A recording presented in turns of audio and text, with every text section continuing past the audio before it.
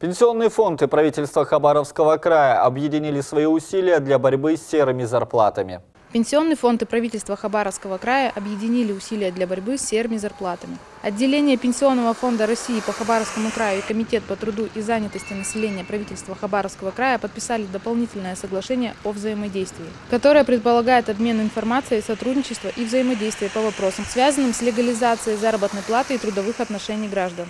На сегодняшний день занижение реальной заработной платы работников и выплаты зарплаты в конвертах является одной из острых проблем как в Хабаровском крае, так и в целом по Российской Федерации. Теперь в соответствии с соглашением отделение Пенсионного фонда России ежеквартально будет представлять Комитету по труду и занятости населения информацию о плательщиках, выплачивающих заработную плату ниже минимального размера оплаты труда и о фактах выплаты неофициальной заработной платы. Совместная работа прокуратуры края, Государственной инспекции труда в крае, органов исполнительной власти, органов местного самоуправления самоуправления и пенсионного фонда будет направлена на борьбу с выплатой заработной платы в конвертах. Неофициально выплаченная заработная плата не только нарушение действующего законодательства, но и ущемление социальных прав работников, в том числе права на достойную пенсию. Вопрос о легализации теневой зарплаты невозможно решить без участия своих граждан. Соглашаясь на получение заработной платы в конверте, работник лишается возможности получения займов или кредитов в полном объеме больничных и отпускных, в том числе и по беременности и родам, социальных гарантий, связанных с сокращением, обучением, рождением рождением ребенка и прочими обстоятельствами. Права на социальное страхование от несчастных случаев на производстве и профессиональных заболеваний. Отделение Пенсионного фонда России по Хабаровскому краю напоминает, что сообщить о фактах выплаты заработной платы в конвертах, в том числе анонимно,